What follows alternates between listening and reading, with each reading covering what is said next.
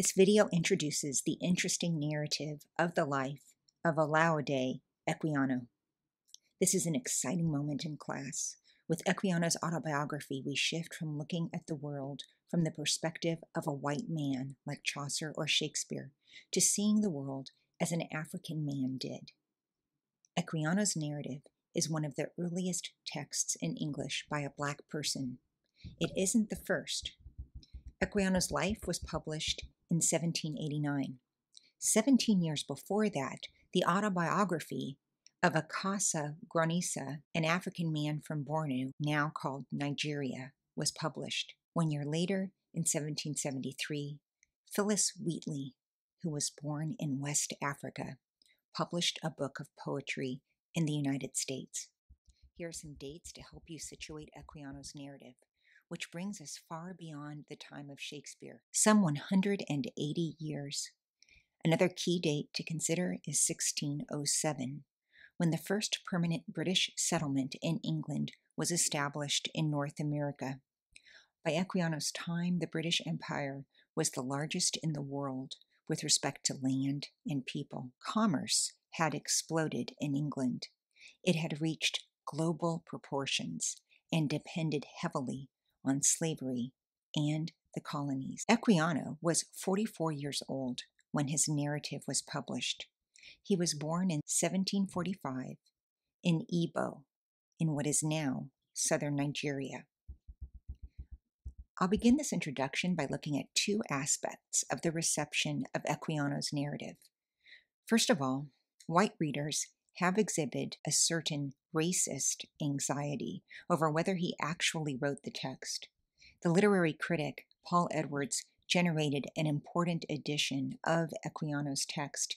His introduction to that edition appears in the Norton edition of Equiano. A good chunk of that introduction sets out to prove that Equiano actually wrote the text. Edwards looks at internal evidence from the text, personal letters, as well as Equiano's use of African words to prove that he really wrote it. This anxiety over Equiano's authority intersects with the fact that early slave narratives typically appeared with a letter of authentication by a white person.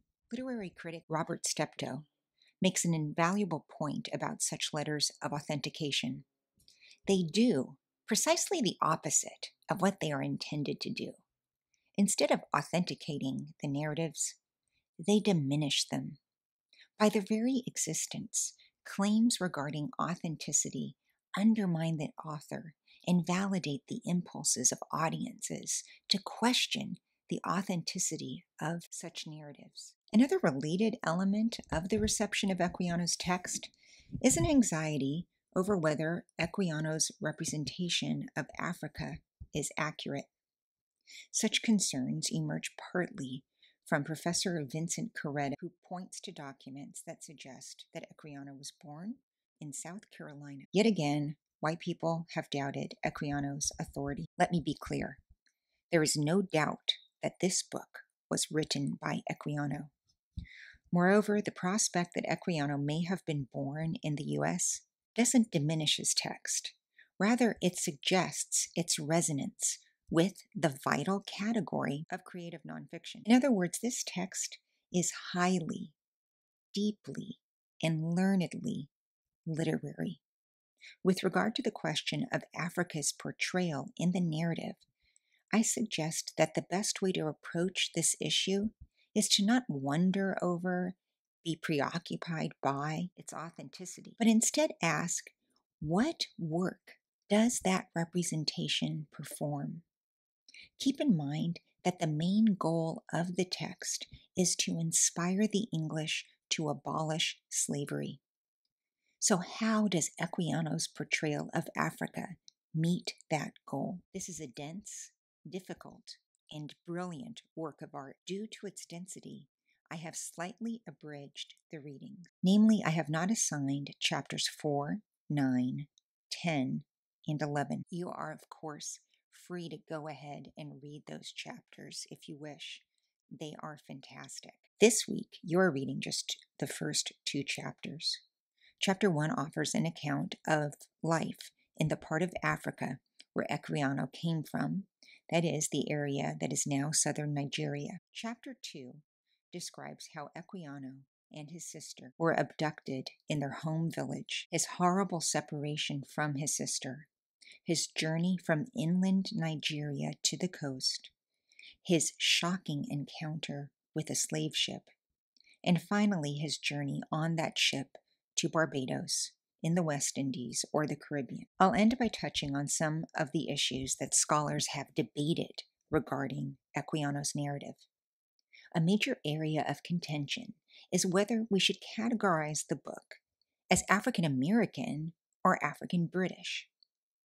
While the book was published in England, Equiano didn't just live there, but in the US. Many Americanist scholars, in fact, claim the narrative as an American text.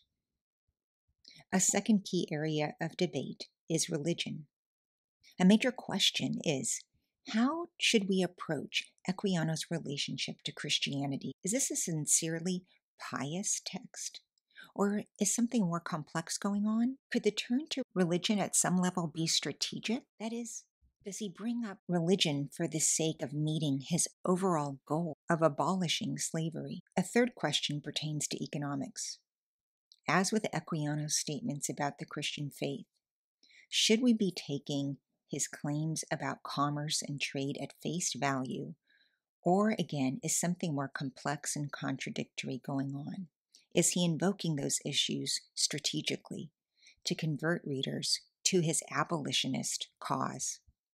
Finally, a hotly discussed topic is Equiano's narrative voice.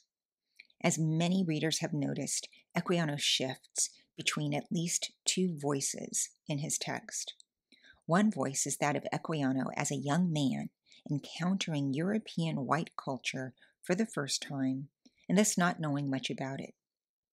The other voice is that of an older Equiano, the person who is writing the narrative, who has received a Western education, who has converted to Christianity, and has, it seems, a more knowing and experienced voice.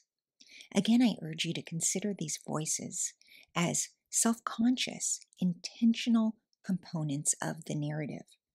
That is, how might the childlike voice, seemingly full of wonder, serve Equiano's purpose of critiquing white civilization?